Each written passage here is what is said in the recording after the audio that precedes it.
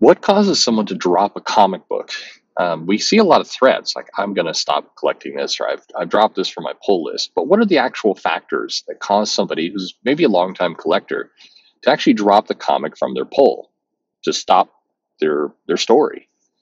Um, I think there's some obvious ones and some not obvious ones. I'll talk about this from a retailer perspective of what I've heard. You know, first hand account when somebody comes in and says, "Take it out of my pull box," I'm going to tell you what I've heard.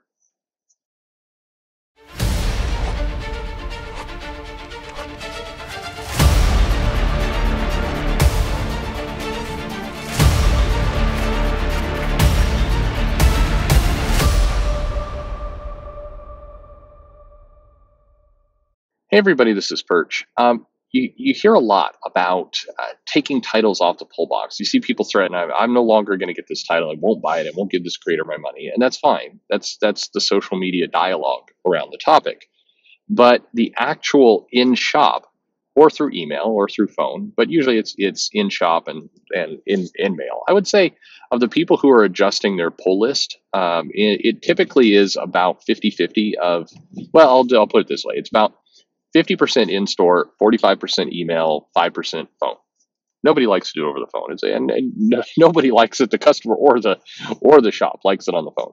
Uh, but anyway, uh, generally speaking, uh, when somebody's dropping an item from the pull list, they give a reason why.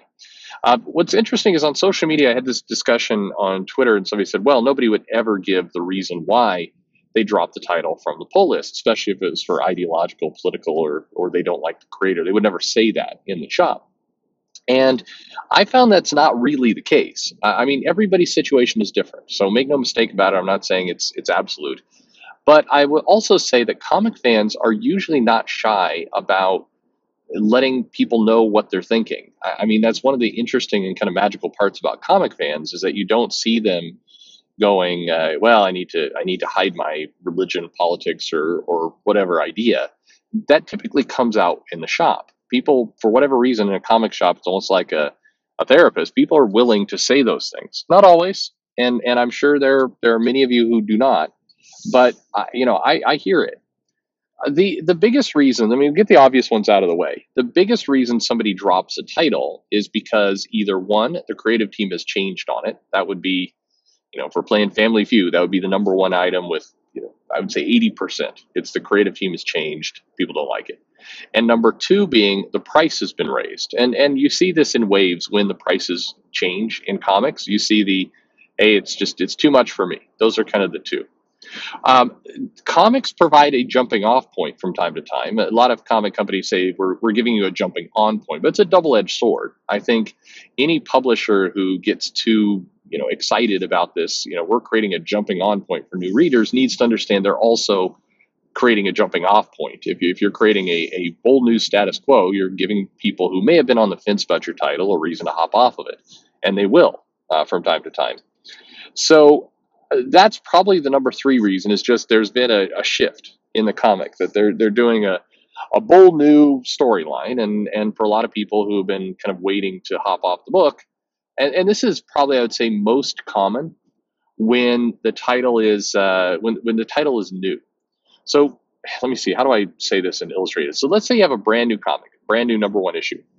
A lot of people will come into that comic, and when somebody adds it to their poll right away, I'm a little suspicious, and I even account for that in my ordering going forward because a lot of people will uh, rather than say I just want the number one issue, they'll say I want this added. to In fact, some stores won't let you do it that way. If you're going to subscribe to it, you're subscribing, and so they'll say I want this this number one issue in my box, or I want this first arc in my box, or maybe they're thinking that, but they don't necessarily say it. They they just want to make sure they get that first arc.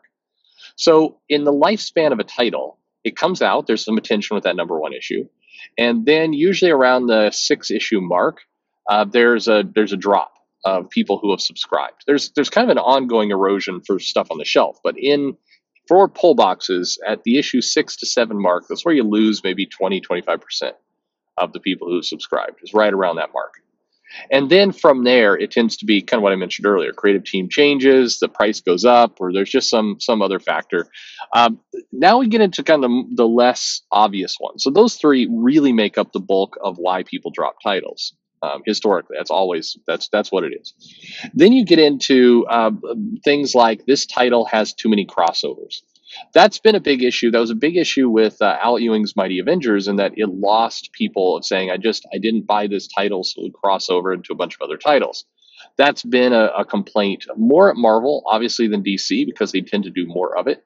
But that's been a, an ongoing one that I, I would say has been consistent through the years. There's too many tie-ins that interrupt the flow of the story, cause people to hop off. So there's that. Um, another one that is that is certainly true is that at some point so the reader has gone on to social media, has discovered that the creator has blocked them, and decides to drop it that one's you know impossible to predict. It's not going to happen you know in the middle of an arc or other things. Um, more often than not, and I know there will be some people who disagree with me. More often than not, the reader gets disgusted, gets frustrated that they are blocked, but they don't actually drop the book. They just kind of grumble about it. They're mad. Maybe they don't go for some new thing. But there's this thought process I think that goes through a lot of fans' heads of, well, I'm already collecting it. I'm already, you know, I'm invested. So I'll just kind of wait to hop off at some point in the future. I'll finish this arc. And in a lot of cases with comic readers, they finish the arc, and then if, if the next issue is at all compelling, they go on on the next arc. Um, it's it's it's not as much a driver for people leaving books as you would think. Uh, it does happen. I, I, will you know make no mistake about it. I've had people come in and call and say, hey, I went on social media, I found out this guy was blocked me, take me off all his comments. It has definitely occurred, and to say otherwise is is not true. Um, it's interesting because people tend to be on on two extremes on this topic when they discuss it online. Um, number one extreme is, uh, you know, I will always drop every comic, and everybody everybody drops comics whenever uh, they find out that they're blocked, and and the numbers just don't show that either anecdotally in the store or the ordering numbers. You don't see creators who have big blockbot lists, uh, you know, you don't see these these drops in, in comics. Again, not saying it doesn't happen, you just don't see it in mass. But there's the other side to that extreme is also not true, and that's where I've I've seen creators say, you know, none of that translates to stores. None of the, you know, if if I'm blocking people, it does not translate to sales whatsoever, and that is also not true. I I I, I have gotten many people you know, again, not the majority. I, I listed the majority earlier, but I have had on an ongoing basis someone say, "Hey, I found out I was blocked by." You know, usually it's Al Ewing or it's Dan Slott. Those are tend to be the two. Um, and you know, I don't want I don't want to know. The, the other one, I, I, guess it's Al Ewing, Dan Slott. Uh, a uh, little bit. There's been more noise around Donny Cates, uh, but not much. And then um, uh, uh, uh Tom um, Tom King has been the other one that I've, that I've heard a lot about. So these are so these people. I, again, um, is it the majority? No. Does it never happen? No, it, it does happen. Um, is it enough that that comic publishers and creators should be concerned about blocking and maybe put rules in place? I, I mean, that's hard to say. I, I, think this is where it's a personal call. To me, if I'm a publisher, I would be worried about any erosion in my books, any any reason why people are leaving. And I, but to be fair with the topic, I'd be worried about the ones I mentioned earlier before I got to blocking. I would definitely be worried about uh, creating jumping off points for customers. I would be worried about shifting a creative team kind of unexpectedly that caused people to, to shed because those are the big ones. Uh, that's that's just the, the biggest factor. Um, the the other reasons why people hop off, um, I have had people do the all, you know, they get mad at the publisher for doing something somewhere else, like maybe, uh, for example, and this is a this happened once, so this isn't a, a huge factor. But I had a customer who was very, very much into the the uncanny X Men universe that uh, Matt Rosenberg and um, uh, Kelly Thompson and Ed Brisson had started to put together. They liked it, and um, they basically when the announcement came that those books were going to be shuttered and instead Hickman was going to relaunch everything, um, there was a an angry fu Marvel.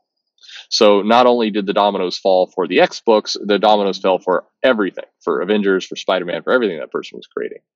And this comes up uh, at time to time. This is where the publisher does something that the customer believes is so egregious that they just they they stop cold turkey with all of it.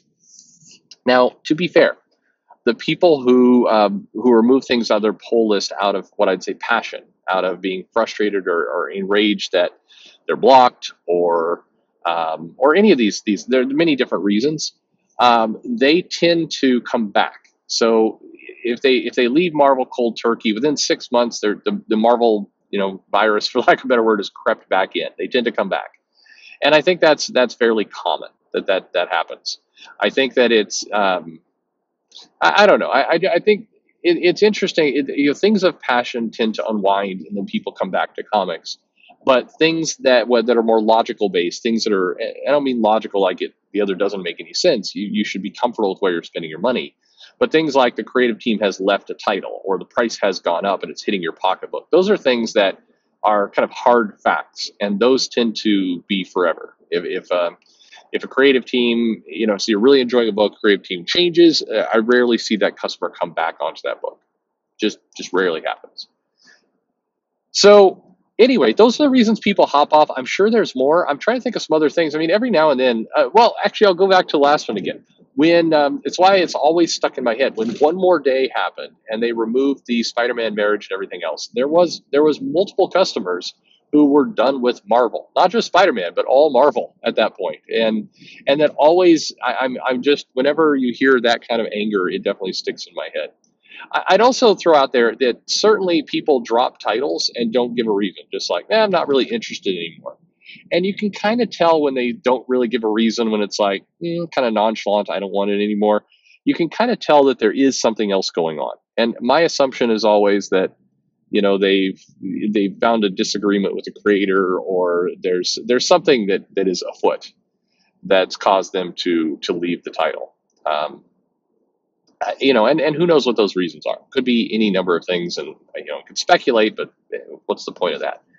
Uh, but it's uh, it, you know comics are, are interesting. Most times readers are in it for life. It's one of the reasons why comics is such a good business because you you tend to get customers that stick with you forever through thick and thin. And so, one of the reasons why I do focus so many videos on kind of trying to heal creator fan relationships or, or trying to really get to the bottom of that is because uh, when you see cracks in that starting to form, when you see this lifelong relationship starting to break down, it's alarming uh, because this is this is one of the few businesses where you have this kind of loyalty, and and so everybody involved, retailers, distributors, publishers, fans, everybody should be really alarmed when that starts to show signs of weakness. That's that's not a good thing. Um, anyway, what are your reasons that you've dropped a title? Would love to know in the comments below. Please leave them. Um, like, subscribe. Hey, join the party, uh, such as it is, and would love to uh, to hear more about it. Um, otherwise, uh, hey. Uh, oh, oh yes, of course. Uh, follow me on Twitter and Facebook. Uh, throw out your topic suggestions. Always love to see those. I really appreciate them whenever I get them, and I do get to them. So I, I'm always very thankful. Which brings me to thanks for listening.